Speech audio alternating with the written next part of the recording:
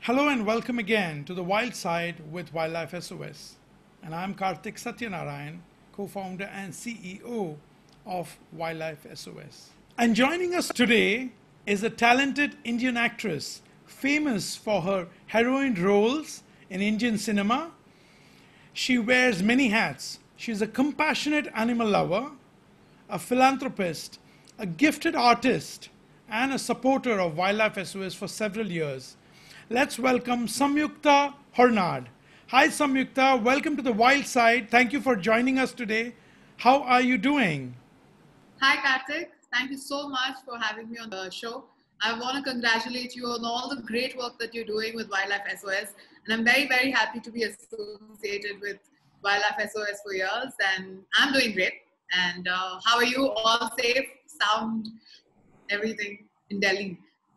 Yes, we are safe and sound, thankfully. And our team has been working round the clock, Samyukta, to make sure that we can help animals in distress. You know, all through the lockdown, our teams have been running around responding to uh, calls on our rapid response units.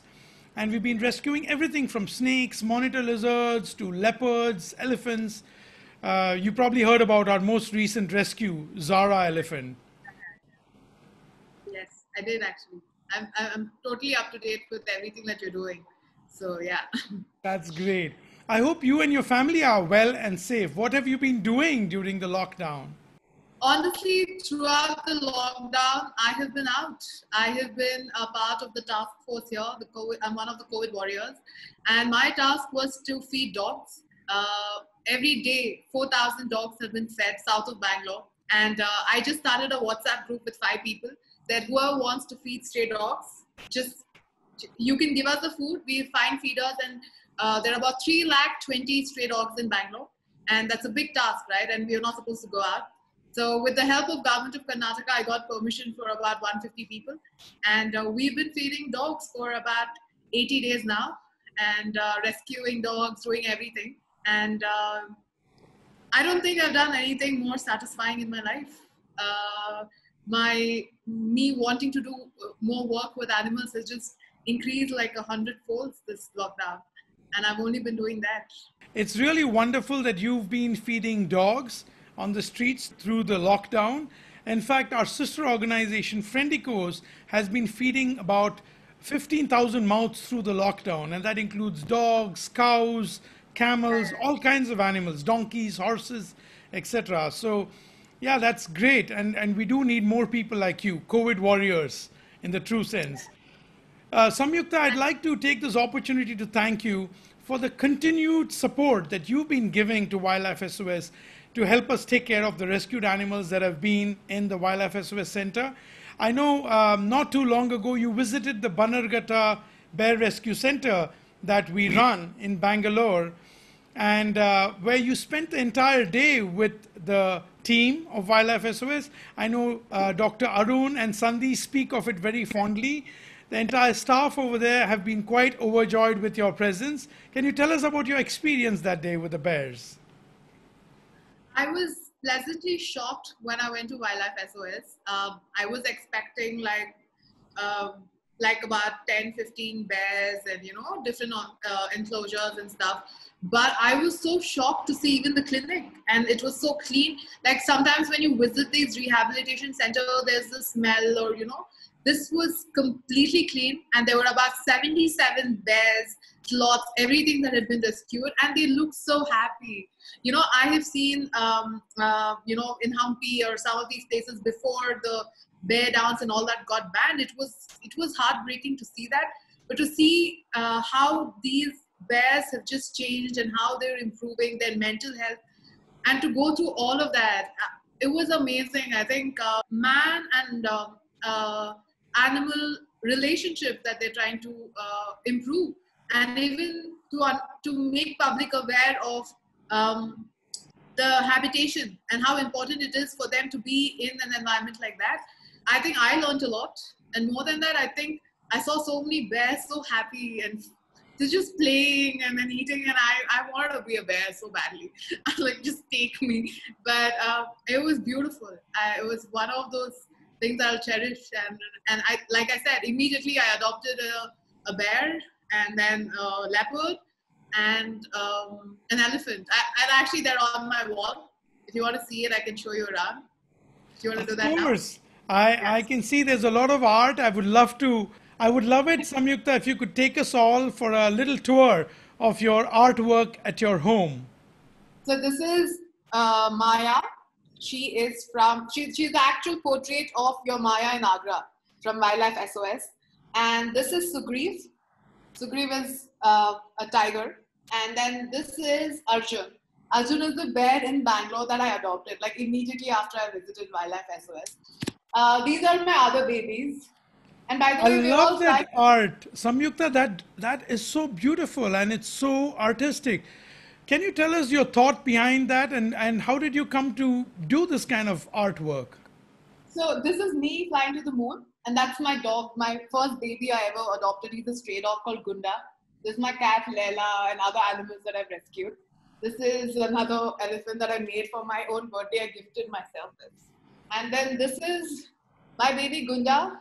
When he passed away, I wanted everyone to like look after him in paradise. So I made that. so my artwork is like very, very personal.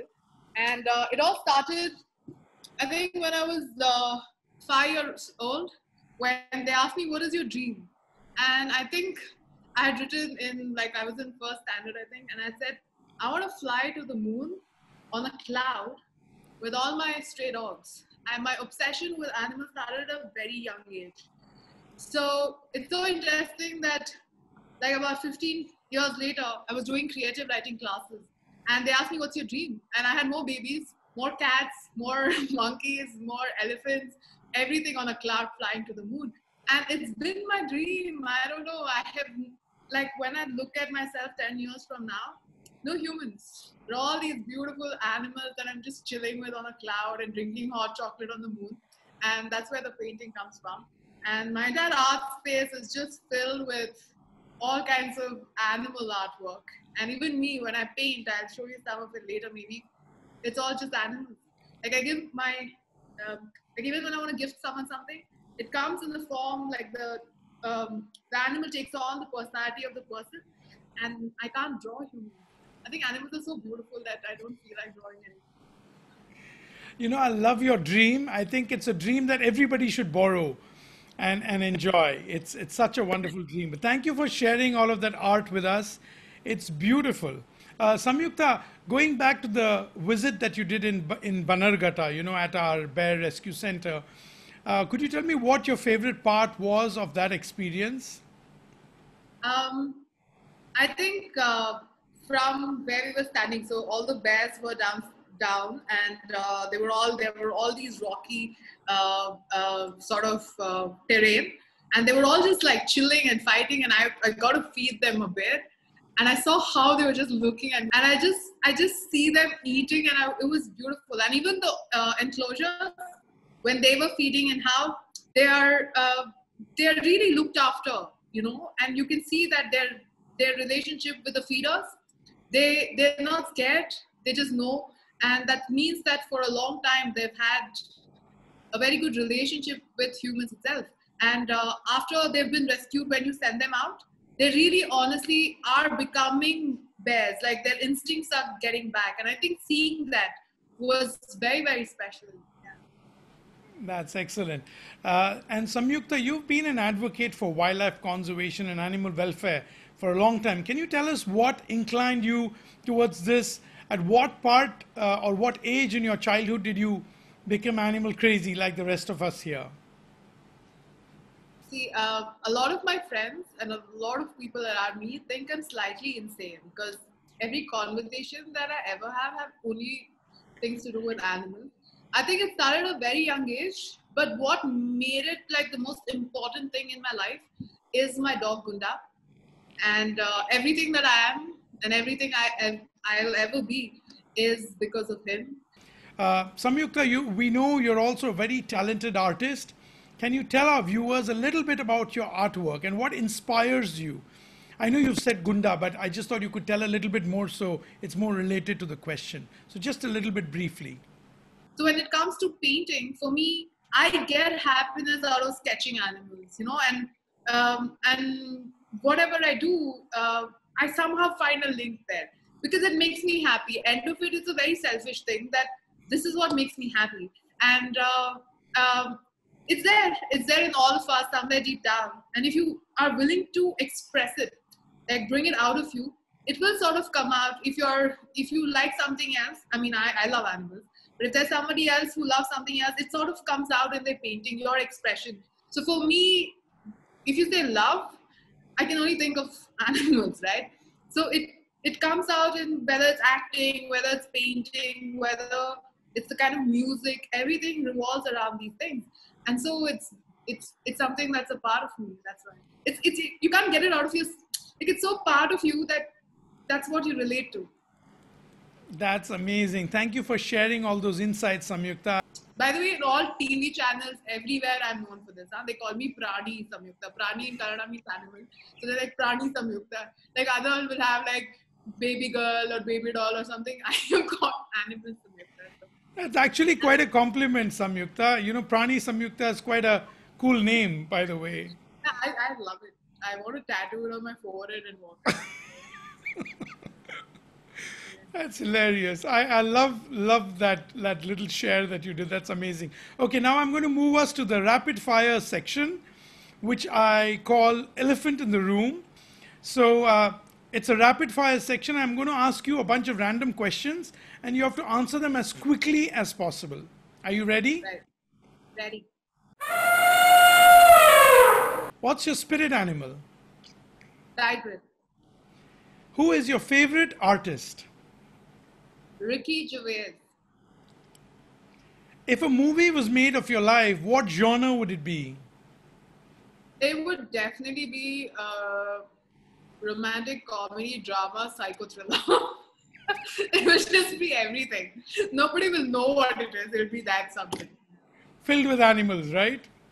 Filled with animals adventure. I probably want to play Tarzan someday, but yeah. Name your top three favorite animals.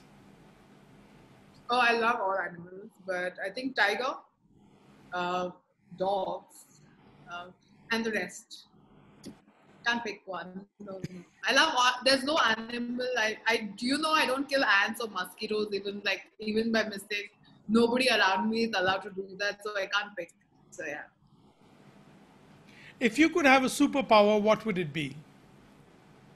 I think um, because it's COVID time, I'll say this: that the fact that we've abused so many animals and we haven't looked after them is why uh, there's karma that's happening. Uh, we see that humans are dying only because we have misused what rights were given. And we only consider human rights and no animal rights. I think i would make sure that uh, uh, animals are treated well and i would want everyone to see it and treat all animals correctly which was the last tv series that you binge watched? Money heist. Or afterlife afterlife yeah. Last question. What does conservation mean to you, Samyukta? Um, conservation is exactly what Wildlife SOS, what you guys are doing. Uh, firstly, making the public aware of how important it is to look after animals and about animal rights, and then uh, letting them grow in their environment, in the environment or in the habitat they're supposed to be in. Also, rescuing the abandoned wildlife and um, and uh, giving them their uh, whatever is required to help them grow. And I think conserva- conservation then would mean to make sure that we all coexist because with, without them we can't live. It's a cycle. And we need to understand that. For our own selfish reasons, we need to look after nature. We need to look after our animals. And I think, uh, I think that's where it starts. I think we should first understand that we need to love all animals. Thank you, Samyukta. That was uh, really very inspiring. It was great to speak with you today. Do you have a message for our viewers? Yeah, um, being at Wildlife SOS, I actually want to be there and serve more animals. But since I couldn't physically be there all the time, I decided to adopt some of their babies. And it's brought me a lot of happiness. And I think uh, whatever you can do, if you don't have the funds, you can actually go and help them out, volunteer, learn about animals, and uh, that will make a difference in the long run. So I would urge all of you to visit Wildlife SOS, volunteer, adopt, check out their website. There's so much happening, and I think they're in nine states. So it doesn't matter where you're from, you can still work. And I think I would uh, I would urge all of you to do that. And um, uh, I think uh, a part of my savings every month, I, I, give it to animals. And I think if you could do that, 10%, 15%, 20%, 500 rupees, it does make a difference. And I think it will uh, it'll be great to have a certificate saying you're the mom of an elephant. I think I have so many certificates lying around. So it brings in a lot of happiness, and I think you should all do that. Thank you so much, Samyukta. It was really wonderful and enjoyable to chat with you. I hope to see you again soon. Take care yeah. and stay safe. Thank you, Kartick, for having me on the show. And again, congratulations on all the great work that you're doing. And I hope to be associated with Wildlife SOS for the rest of my life. So, yeah, I'm, I'm sure I'll see you around. Absolutely. Thank you and bye bye.